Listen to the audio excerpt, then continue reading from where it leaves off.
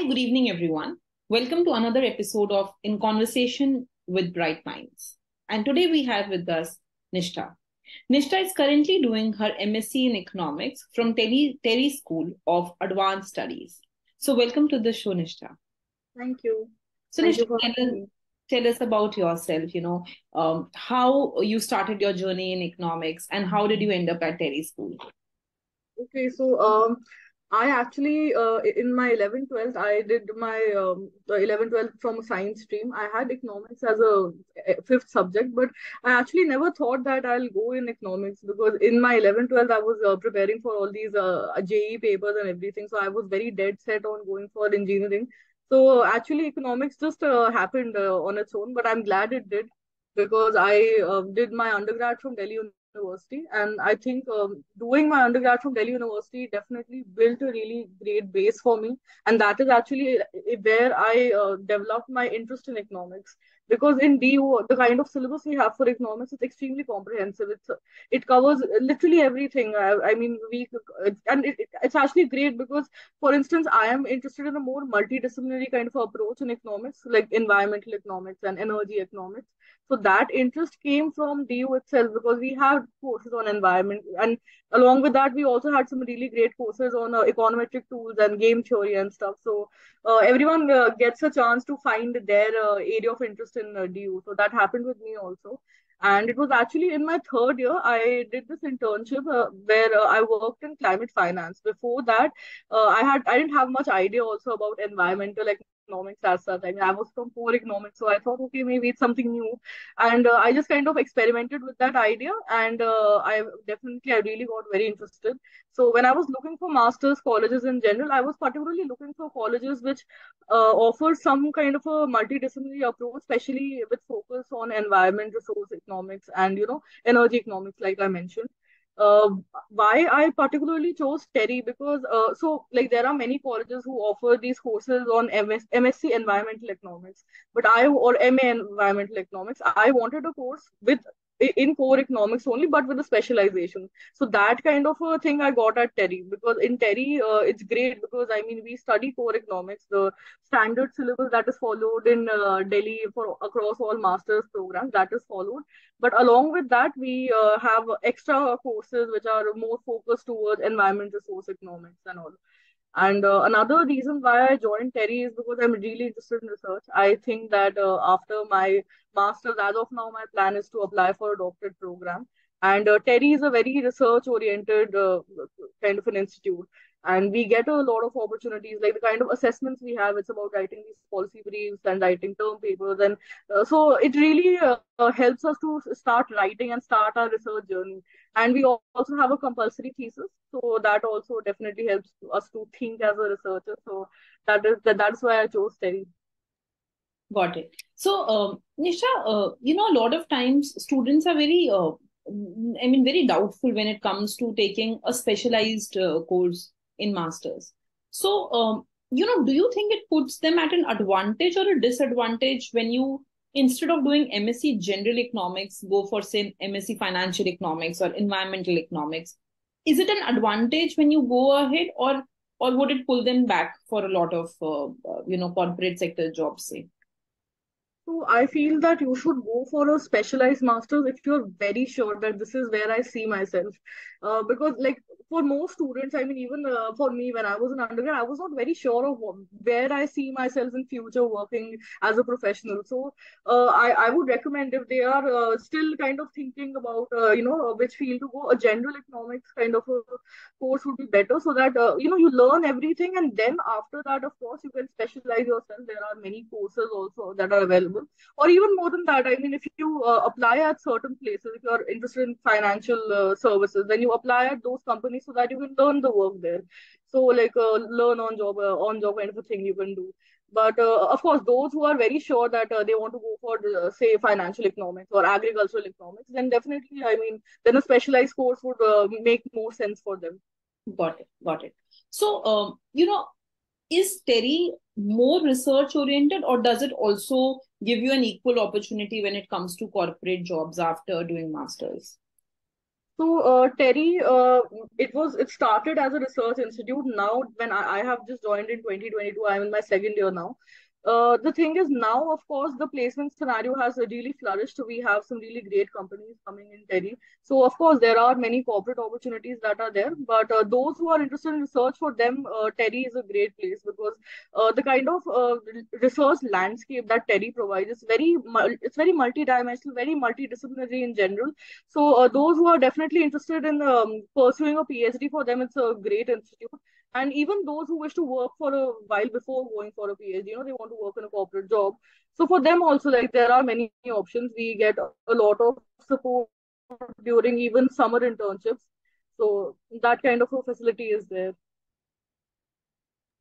Got it. So so basically you know back in our time when um, i think so it was just two three years that TERI came into picture um, we remember that we would we were not sure of TERI just because of the placement opportunities uh, that TERI had at that time. But it seems that with time, the placement cell has really done well at TERI, right?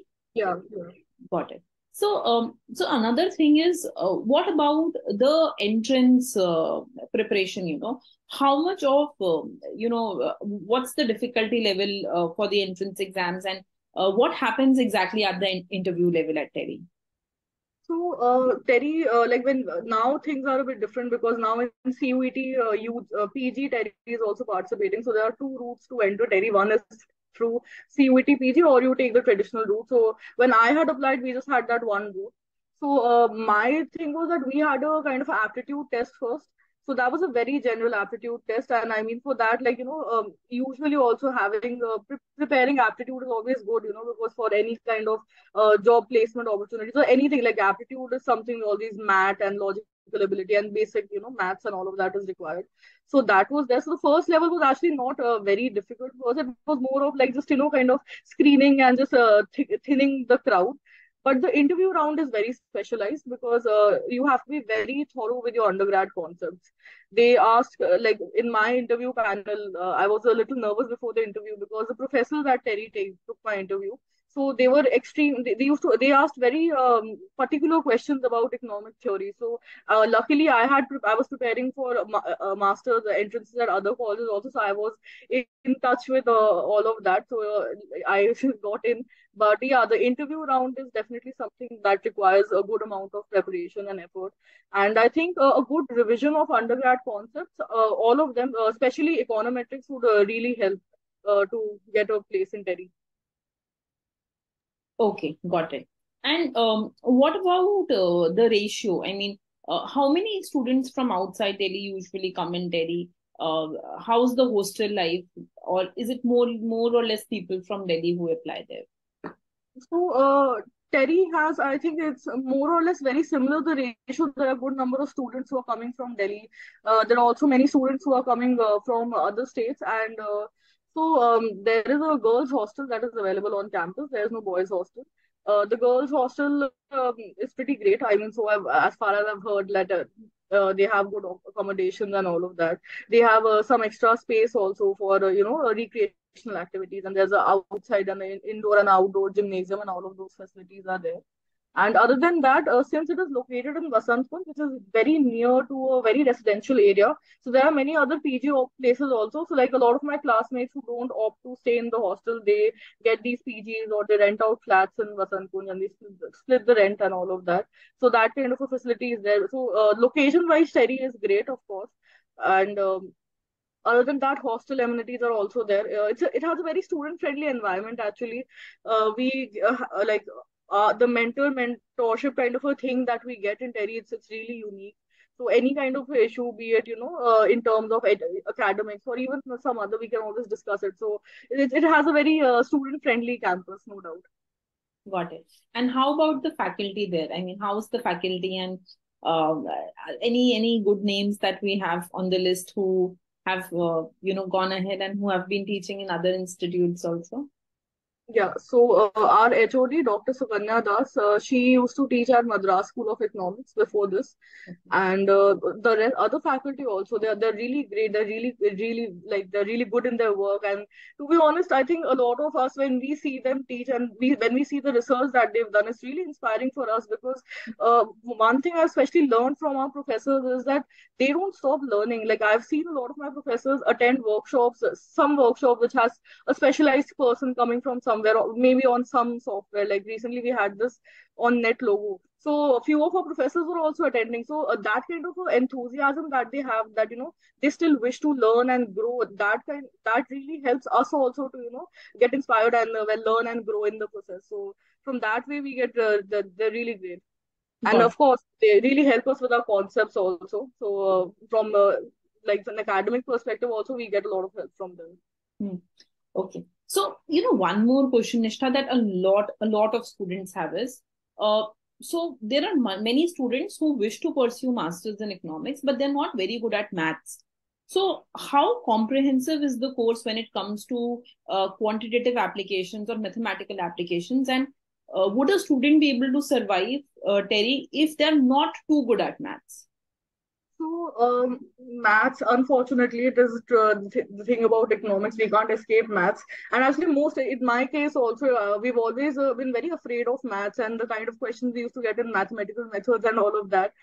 But uh, of course, uh, there is a good amount of maths that is involved, and that's because the course structure in TERI isn't aligned with the other institutes like IIFT, JNU, DSE. All of them have a very uh, similar course structure, so that uh, basic kind of a course uh, in the first year of masters is required. So uh, one thing I was really afraid of was real analysis. I was extremely scared of it but uh, I mean, I, I it was I did manage it, uh, and I think why I managed it is because uh, we used to get these extra tutorial classes where we could approach our professors, and so the student uh, teacher ratio is also kind of great because you can approach them one on one, you can uh, email them for extra time, and then if you're lagging behind on any concept, so uh, they definitely help.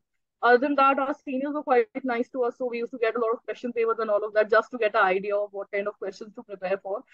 I would just recommend uh, my, the juniors who are watching here that you know I know maths can be very terrifying, but uh, it is an integral part of economics, and it's really not that difficult because uh, you know like any kind of performative art, you can't perfect it in one day. You have to do a bit of it every day. So that's what I did with maths. Also, I did a bit of maths every day till I got it till I at least gained that self confidence in maths. And so yeah, it, it's not that difficult. I mean, we can all manage maths. Got it. But you have to do it. You can't escape it. Of course, it's economics. Yeah, I mean, in economics, yeah, but uh, if you want to, uh, for students who wish to go for, for a more uh, development uh, studies or a more policy studies kind of a course, there, of course, there will be much lesser maths. Then uh, I, I'm not sure if there will be maths, but uh, in economics, there will be maths, like regardless whether it is in TERI or any college, because it's just such an integral part. And other than that, also econometric methods and, tools of economics are, of course, uh, important statistics. Those are something that we have to do. Right. Yes, of course. So, uh, you know, one last question, Nishtha, that I had. Uh, so many of my students, when they're doing, you know, when they have to go to a college, they also kind of weigh uh, the fees perspective of that college. So, so for example, JNU just charges you about 200 for the Yeah, entire semester or entire year. So, so how pocket friendly is TERI and how much should a student, uh, how much do they have to spend in the two years to to get the degree from TERI? So uh, the thing is, uh, TERI, uh, relative to of course the relative to of course JNU and even uh, DSE for that matter, the fees is higher in TERI. But uh, if you compare it with other colleges like Gokhale, uh, Madras School, and even um, IIFT, it's very much the same as the their fee structure. One good thing about TERI is that there are many scholarship programs that are available, like, like a fee waiver of kind of a thing. So uh, students who uh, wish to avail it, there are many options to avail it, and they can definitely uh, reach out to the. It's available on our website also. These scholarship programs that are there, or they can reach out to the admin about it, and those kind of schemes are available for students. Of course, that will be a very competitive merit-based kind of a thing to avail those scholarships, but that kind of facility is there. Got it, got it.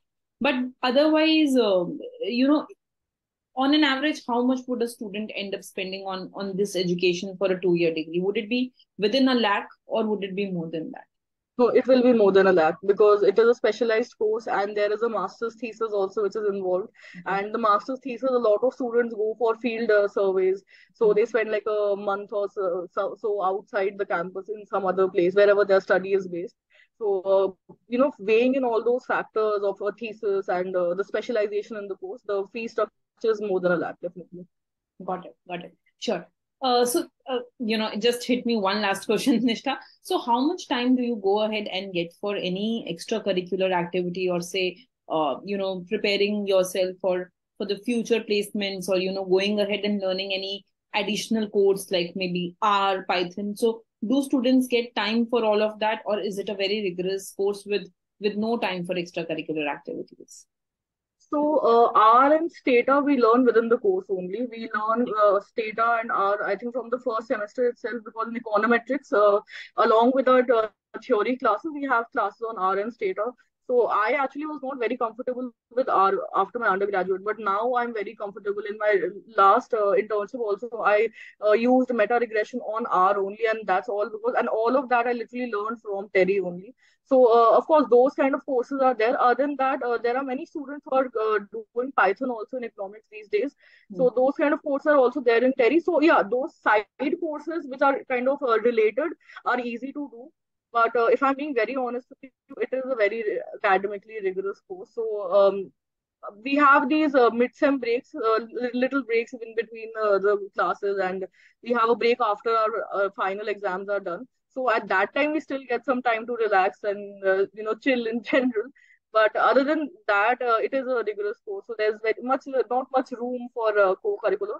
But we have a lot of co-curricular um, facilities in the college. There are many clubs that are there. So like recently a bunch of juniors who just joined this year, so they were asking me that, oh, should we go for a co-curricular, like a master's program? Uh, will we be able to manage? So I told them that, see, in your first year, do as much co-curricular as you can. Second year onwards, with the placement and the thesis, you will not get the time. But in the first year, it's very important. Plus, another thing I just wanted to add that uh, since TERI uh, TERI School of Advanced Studies is uh, basically the parent organization is uh, TERI, the the research institute. So there are many conferences that we get to attend. So and one of the flagship conferences, this World uh, uh, World Sustainable Development Summit, it happens every year. TERI uh, TERI, the institute organizes it, and uh, so they allow students from TERI SAS to go to these conferences. And actually, throughout the year, I mean, almost every day, whenever I enter college, there's some seminar or the other that is happening here in the seminar hall, or there is some conference or the other, and all of these are actually, uh, of course, they're related to climate, but there are other conferences also. Uh, so yeah, I mean uh, those kind of uh, you know students can engage in all of those things. Got it, got it. So okay, right, okay. So I think uh, Nishtha, uh, you know, as far as I could uh, remind myself of the questions that students have, I've tried to go ahead and ask all of those. And thank you so much for your time that you could take out time from your rigorous schedule and you could you know go ahead and help the students with um, all these uh, doubts that they could have and uh, you know in case i still find anything from my students i will definitely shoot that back to you and i will i will go ahead and answer them accordingly. Uh, thank you so much for your time and you know wish you a very happy navratri and durga puja. Thank you. Same to you. Thank you. Okay. Bye nishtha take care. Bye